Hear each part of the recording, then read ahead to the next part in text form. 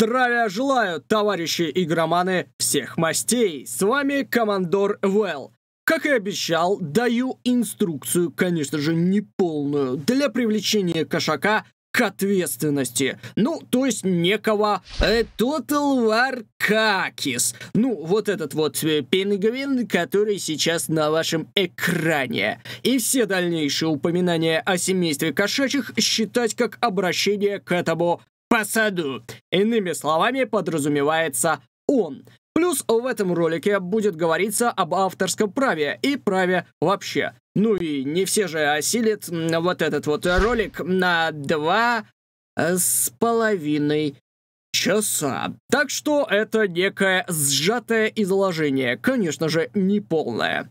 Начну с самого главного. Мои юридические услуги по привлечению кошака к ответственности для вас будут абсолютно бесплатными. Обращайтесь. Но для начала посмотрите ролик, этот ролик, целиком. Итак, в первую очередь я хочу привлечь его по авторскому праву, ну, чтобы в том числе закрыть его канал, где он оскорбляет всех, крича, что мы все говностратеги, а значит он крут. Тем более война со всеми — это так сложно, гораздо сложнее, чем обычная война. Хотя создателями игры такая ботва не задумана, то есть там нужен свой игровой баланс и менять всю механику игры, да и тем более комп может на твой фронт забить и идти в другую сторону, а ты э, в тихушку отбираешь провинции, пока его 3-4 стека находятся в другом конце карты. Думаете, такого не бывает? Угу, аж 20 раз. Скоро увидите воочию том числе, как я, вычисляю, где сейчас они идут, чисто через дипломатию. Но война всем, конечно же, объявлена. Но не суть важно. Короче, понятно, да? Товарищи говностратеги. Если что, я тоже говностратег. Так что я оскорбляю сам себя.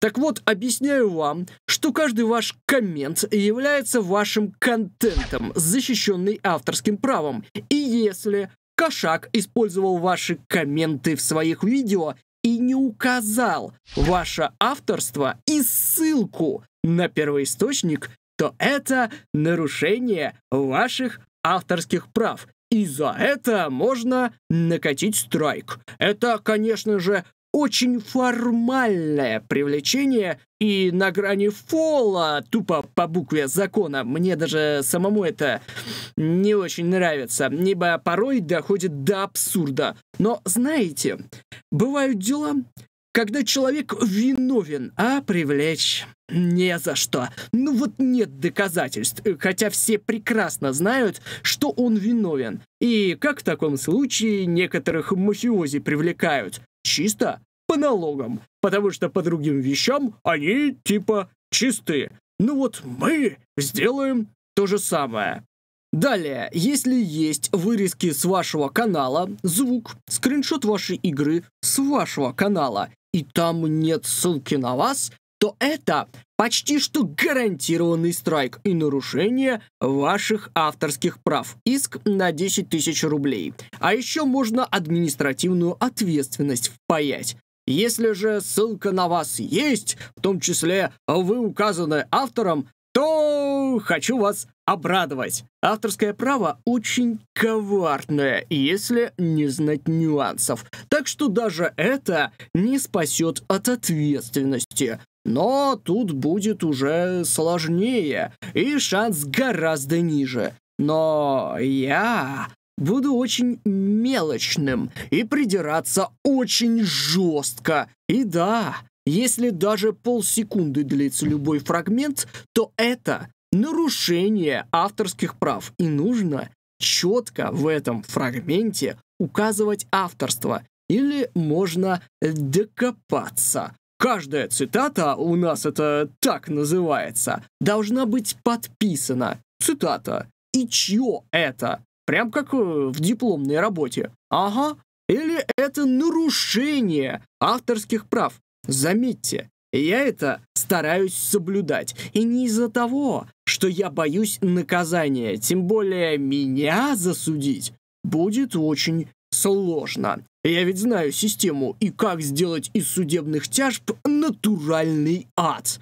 Суд — это тоже стратегия, и можно выиграть, казалось бы, даже в проигрышном деле. Есть такие варианты, но это требует большого упорства, чего, кстати говоря, у меня в достатке. Но по большому счету я стараюсь соблюдать это, потому что это в некоторой степени будет нечестным скоммуниздить ваш контент, в особенности если понимать, что такое покадровая анимация и как производится аниме, ибо каждый кадр там рисуется вручную.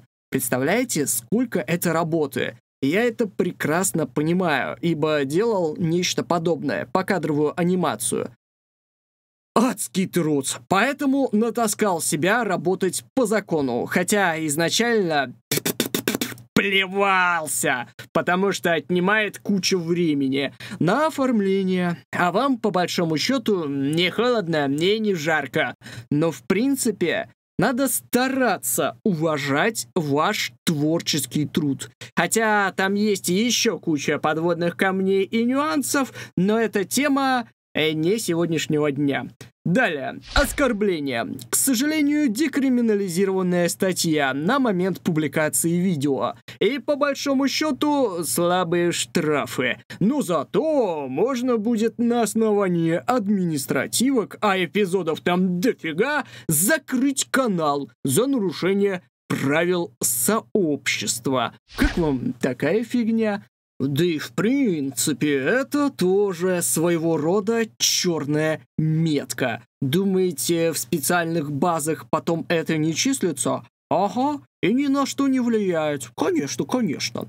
Единственная проблема — тут сложный состав. Ну, точнее, сложно доказать вину, потому что нужно четкое указание, кого оскорбляют и кто это делал. Но вот тут яркий пример, как кошак зафейлился по-крупному, четко указав, кого он оскорбляет, подписавшись от имени своего канала. Лицо, которое известно. Хотя с некоторой стороны можно его похвалить, но только в том случае, если он реально пытался, не скрываясь, выражать свое мнение, хоть и не в пристойной форме. Но я не думаю, что он просто не пытался удовлетворить свое эго и тупо не подумал, а что если он нарвется на такого, как я, и что нужно отвечать за свои слова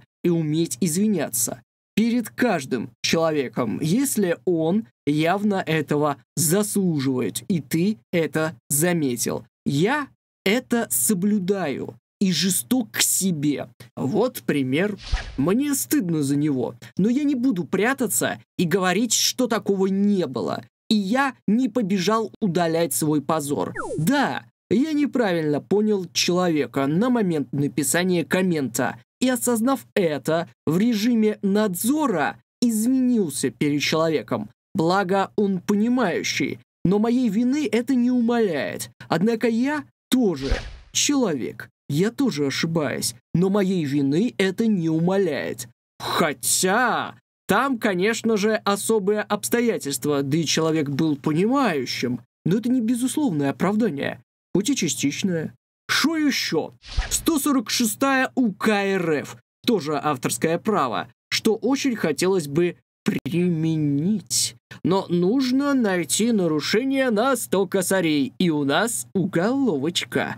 Желательно найти видосики, где есть куча просмотров. Минимальный порог будем считать как более 100 тысяч просмотров, ну или около того где есть нарушение авторских прав, абсолютно любое, и можно претендовать на эту статью.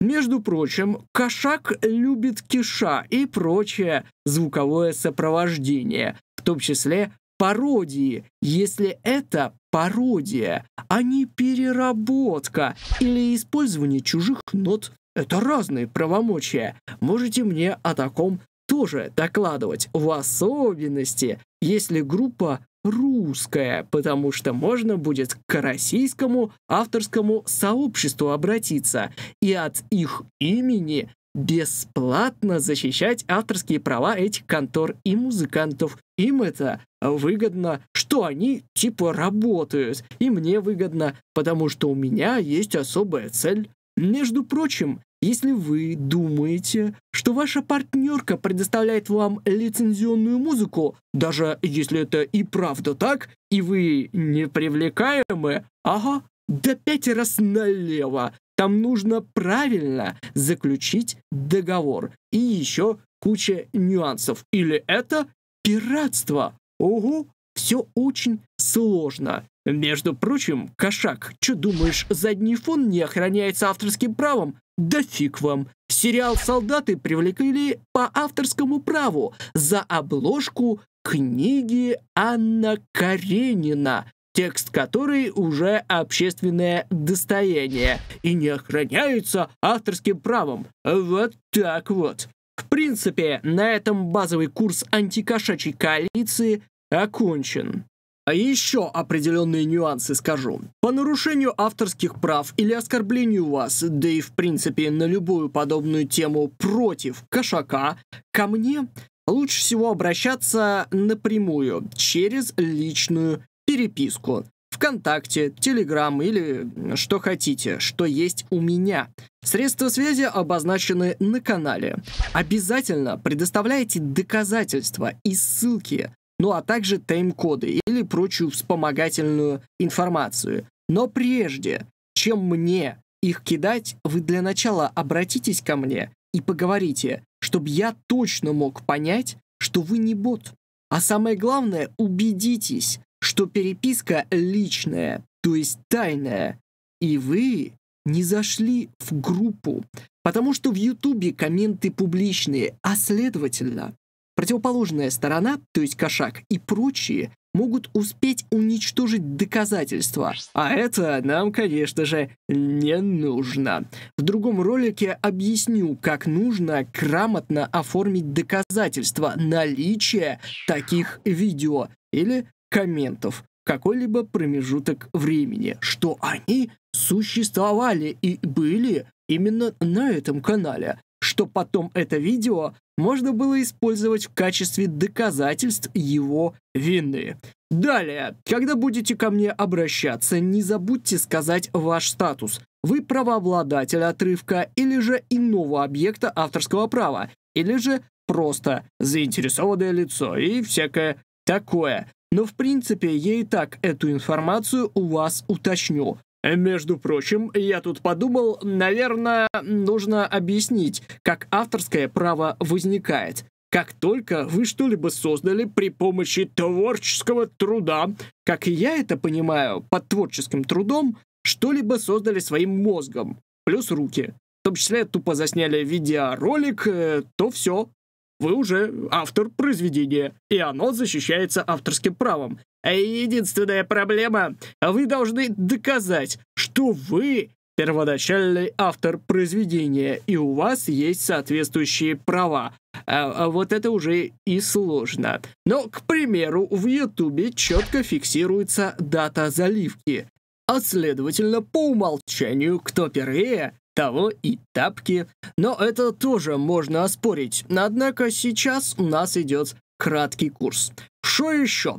Если вы найдете иные составы нарушений на его канале, хотя, мне кажется, вышеперечисленного будет достаточно, но я не против поработать и в других направлениях, а следовательно, можете мне о них рассказывать. Далее, мне нужна информационная поддержка от любого лица. Если вы знаете, на кого кошак наезжал, через комменты, как я уже говорил ранее, через создание коричневого пиара и прочих подобных видео, в особенности, если он наезжал на авторов каналов, потому что с ними будет проще связаться, то пишите мне о таких случаях, я свяжусь с ними и подскажу, как они могут отомстить кошаку, либо напишите им сами, чтобы они связались со мной, а лучше оба действия. Очень желательно, чтобы кошак им посвятил видео или же коммент. Ну и тогда все. Тем более сроки по таким делам бессрочные. Даже если он это сделал в 2014 году, и все равно я смогу его привлечь, скорее всего. Даже просто негативное упоминание в стриме в отношении конкретного лица, которое можно установить с оскорблением, можно присылать мне на анализ. А, ребят, надо сделать так, чтобы каждая жертва его злодеяний знала, что настал час возмездия. Не все же видели мое видео и обладают соответствующей информацией, так что нужно наладить коммуникацию, и всех вас я попрошу помочь мне в этом нелегком деле. Тем более я не смогу в одиночку, ну точнее с небольшой группой хашишинов, осилить уже почти что 7 лет его деятельности.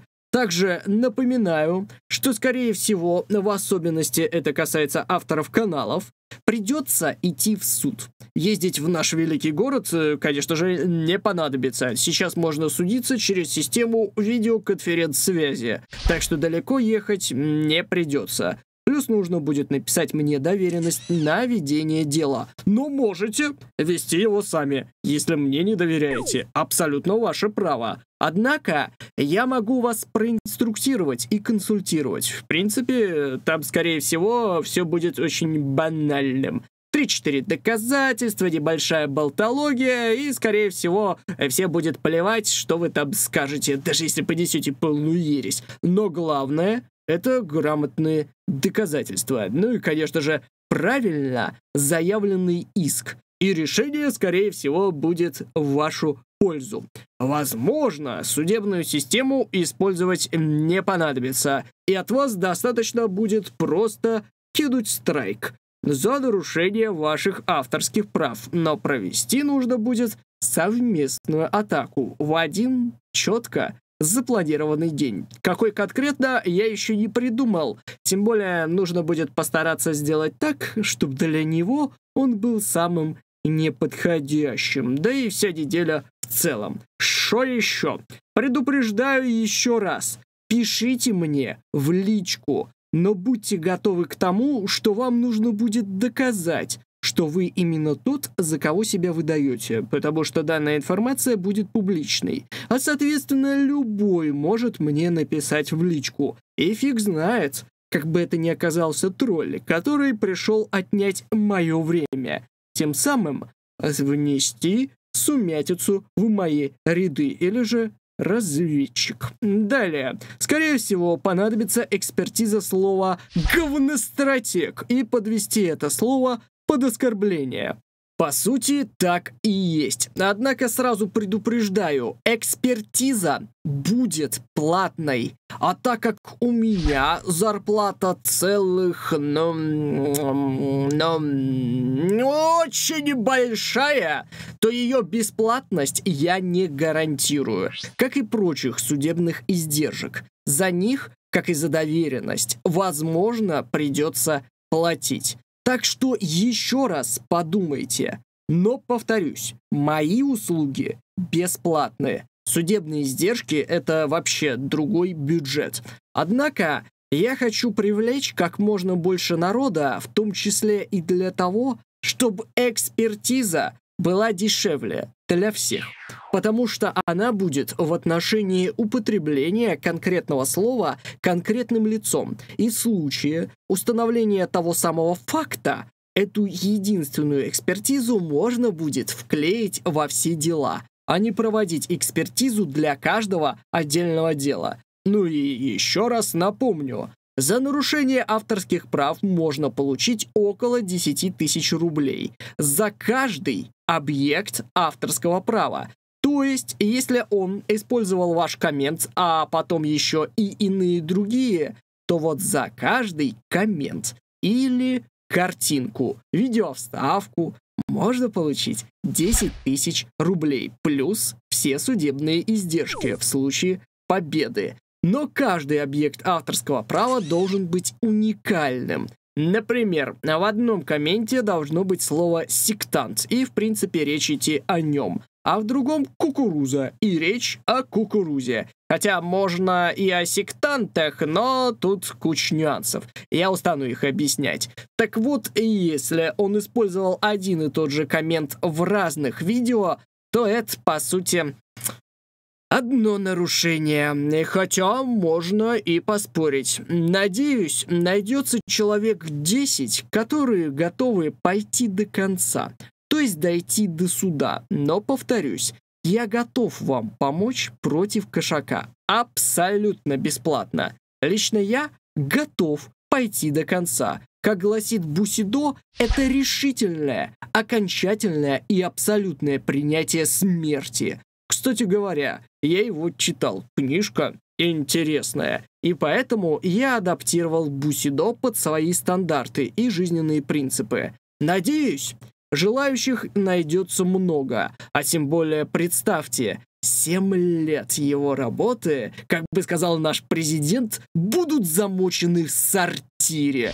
Хотите получить удовольствие от возмездия? Настало это время. Да, командор может быть очень жесток, но справедлив.